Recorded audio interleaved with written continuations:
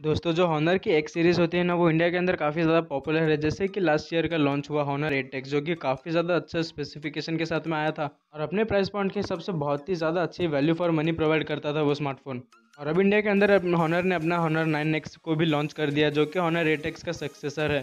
लेकिन दोस्तों, ये जो हॉनर का नाइन एक्स है ना, ये बाकी के हॉनर के एक्स सीरीज़ के जितना अच्छा फ़ोन नहीं है। जैसे कि फ़ोन तो काफ़ी अच्छा है, लेकिन जो उसकी प्राइसिंग है ना, वो उतनी ज़्यादा एग्रेसिव नहीं है और जैसे कि हर बार होती है। और मैं ऐसा इसके लिए बोल रहा हूँ, क्योंकि इसके पीछे बहुत सारे ऐसे रीजंस हैं जो कि मैं आप लोगों को इस वीडियो के अंदर बताने वाला हूँ।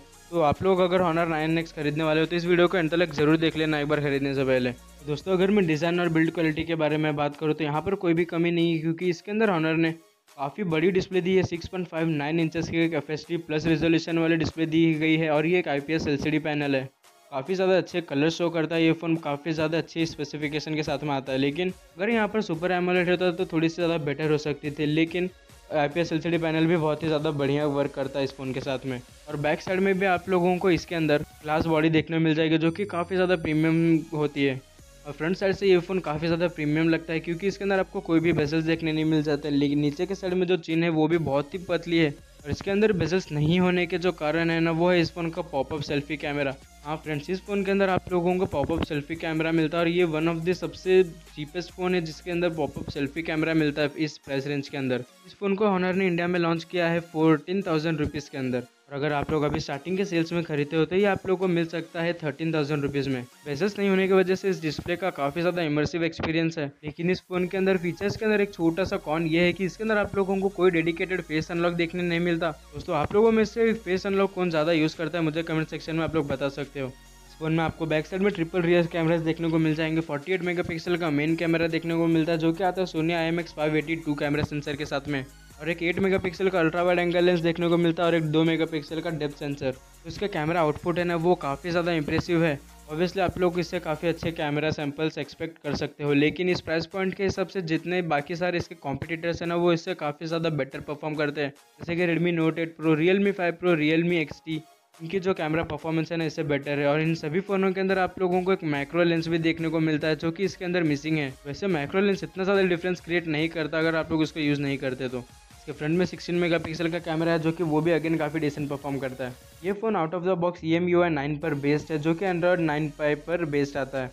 और दोस्तों, इस फ़ोन के अंदर आपको एंड्रॉयड टेन का अपडेट डेफिनेटली मिलने वाला है। और कोई भी टेंशन वाली बात नहीं है, क्योंकि इसके अंदर आप लोगों को जो भी एंड्रॉयड के सर्विसेज़ है ना गूगल के, वो सभी देखने मिलेंगे बिल्कुल ईजिली और दोस्तों, इस फ़ोन की अगर मैं प्रोसेसर के बारे में बात करूँ तो यहाँ पर आपको मिलता है किरिन का सेवन वन ज़ीरो एफ़ का चिपसेट जिसकी जो परफॉर्मेंस है ना, वो बहुत ही ज़्यादा कुछ आपको फ़र्क देखने नहीं मिलेगा ऑनर एट एक्स के कंपैरिजन में, जिसके अंदर भी आप लोग को सेवन वन ज़ीरो मिलता था किरिन का। तो ये परफॉर्मेंस के लिए जो प्रोसेसर है ना, वो काफ़ी अच्छा तो है, लेकिन इस प्राइस पॉइंट के अंदर आप लोगों को बाकी ब्रांड से बहुत ही सारे अच्छे अच्छे चिपसेट देखने मिलते हैं। जिससे कि seven one zero seven one two और अभी तो मीडिया टेक का हीलो जी नाइनटी टी भी देखने मिलता है, जो कि परफॉर्मेंस वाइज इससे वे बेटर परफॉर्म करते हैं। और स्टोरेज टाइप भी आपको इसके अंदर ई एम एम सी का स्टोरेज देखने मिल जाएगा। इस प्राइस रेंज के अंदर अभी आप लोगों को बहुत सारे फ़ोन है जिसके अंदर आपको U F S two point one की स्टोरेज देखने मिलती है। अगर आप नॉर्मल से कैजुअल गेमर है, अगर आप लोग काफ़ी नॉर्मल से यूसेज है आप लोगों की तो आप लोगों को इस फ़ोन की परफॉर्मेंस से कोई ज़्यादा फ़र्क देखने नहीं मिलेगा। लेकिन आप लोग अगर बहुत ही ज़्यादा हैवी यूज़र हो तो इसकी जो परफॉर्मेंस है आप लोगों को डेफिनेटली कम लगने वाली है।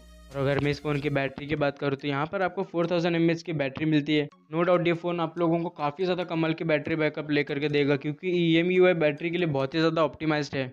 ये फ़ोन आप लोगों का एक से डेढ़ दिन बहुत ही ज़्यादा आराम से निकाल देगा। एक दिन तो आप लोग हैवी यूसेज के साथ में इजीली निकाल सकते हो, लेकिन इसके अंदर जो प्रॉब्लम है ना, वो इसके फास्ट चार्जिंग को लेकर के इस फ़ोन में आपको टाइप सी का पोर्ट भी देखने मिल जाएगा, लेकिन बॉक्स के अंदर आपको इसमें टेन वेट का चार्जर देखने को मिल जाएगा। और अगर आप लोग इस समय करेंट मार्केट की बात करो तो यहाँ पर जो फोर्टीन से फिफ्टीन थाउज़ेंड रुपीज़ आप लोग किसी भी स्मार्टफ़ोन में अगर पे करते हो ना तो डेफिनेटली आप लोगों को उसके अंदर एक अच्छी खासी फास्ट चार्जिंग की टेक्नोलॉजी मिलती है। जैसे कि आपको वूक फ्लैश चार्जिंग देता है रियलमी अल्ट्रा वॉट का फास्ट चार्जिंग मिलता है आपको रेडमी के फ़ोन्स के अंदर। और सिर्फ़ यही नहीं सैमसंग के फ़ोन्स में भी आप लोगों को फिफ्टीन वैट का फास्ट चार्जर देखने मिलता है।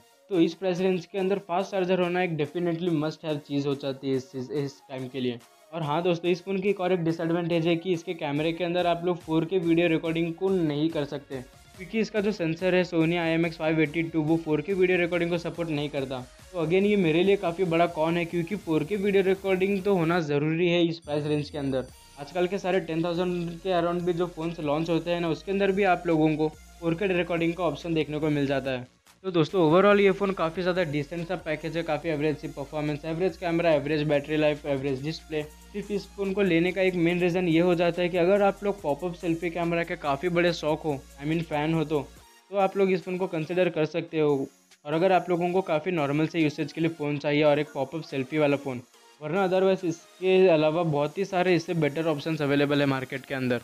तो दोस्तों, आप लोगों को ये फ़ोन कैसा लगा? आप लोग इस फ़ोन के बारे में क्या सोचते हैं? मुझे कमेंट सेक्शन में आप लोग ज़रूर बताना। अगर आपको वीडियो अच्छी लगी हो तो वीडियो को लाइक और शेयर करना। चैनल को सब्सक्राइब करना मत भूलना, क्योंकि मैं रोज़ आप लोगों के लिए ऐसी इंटरेस्टिंग वीडियोस लाते रहता हूँ।